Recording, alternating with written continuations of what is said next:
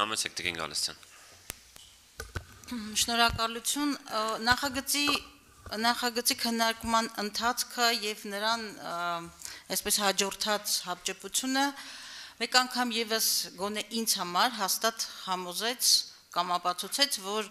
նախագիծը լրացուցիչ լրամշակման անհրաժեշտություն ունի, կարիք ունի,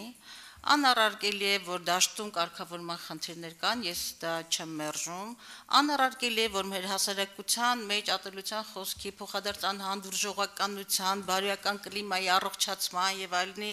ուղղությամբ զանգվածային լրատվամիջոցները անսահման անելիք ունեն անելու, բայց հիմնական մտահոգությունները, որով ես եւ իմ գործընկերուհի Էլինար Վարդանյանը փորձեցինք ներկայացնել մեր մեկնակետերը, մնացին անփարատելի։ Ամենակարևորը եկեք սկսենք նախագծի վերնագրից զանգվածային լրատվության մասին օրենքում։ Զանգվածային լրատվության մասին օրենքում ենք փոփոխությունները քաղաքական մեծամասնությունները մեծամասնությունը փոփոխություն լրացում է առաջարկում ըստ էության արձանագրեցինք, որ զանգվածային լրատվամիջոցների ներկայացուցիչների գլխավոր խմբագրերի եւ նրանց հետ շահագրգիռ քննարկում տեղի չի ունեցել։ Եվ եկեք չբացառենք, որ այդ քննարկման ընթացքում փոխադարձաբար շահեկան մտնոլորտում մենք կարողանային գտնել այսպես շփման եզրեր, որ որտեղից կշահեր մեր հասարակությունը, իբրև հանրային ապրանք, հանրային բարիք եւ բոլոր շահառու կողմերը նկատի ունեմ, թե քաղաքական դաշտը, թե հանրությունը եւ այլն։ Եվ ամենակարևորը ես գտնում եմ եւ նաեւ հիմա ասում եմ, որ 5 շաբթի օրը ժամը 12-ին, որովհետեւ դեռ երբ որ նախագիծը դրվեց պաշտոնական կայքեջում հրակապարակման ներկայացվեց, Եվ այն առաջին տարբերակը, որով որը որը ծանոթացանք, անմիջապես մենք արձանագրեցինք այդտեղ արկա խութերը եւ դա էր պաշտոնական աղբյուրը եւ թե քաղաքական մեծամասնություն իրար հետ ինչ աշխատել ոնց է բարել լավել մենք դրանից տեղեկություն չունենք եւ ուրեմն այս 5 շաբթի օրը ժամը 12-ին 334 դահլիճում մենք արդեն ես եւ Էլինար Վարդանյանը եւ Ազգային ժողովի падգամավորներ օգտվելով ԱԺԿ աննակարգով սահմանված մեր իրավասություն լիազորություններից հրավիրել են քննարկում ժամը 12-ին։ Եվ ես սիրով հրավիրում եմ, բայց բացի այն, որ մենք հրավերները արդեն ուղարկել ենք զանգվածային լրատվամիջոցների ներկայացուցիչներին, գլխավոր խմբագիրներին, ՀԿ սեկտորին, ես նաև եմ ընդդիմադիր գործընկերներին, այդ թվում նաև արտադրության նախարարությանն եմ հրավիրում, եկեք եւ մենք փորձենք այնուամենայնիվ հասկանալ, թե ուրեմն զանգվածային լրատվամիջոցների տեսակետը ինչպիսին է առաջինը դա եւ երկրորդը ես ուզում եմ ասել եւ քանի որ այստեղ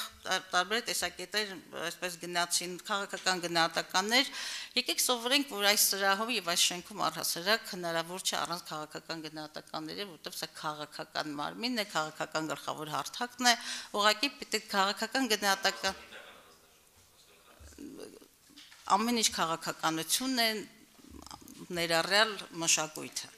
եւ անցնում եմ առաջ։ Եվ ուզում եմ նաեւ իմ գործընկերներին այստեղ նաեւ մի բանի մասին ասել, որ այսօր լրագրության մեջ հիմնական ոչ կներեք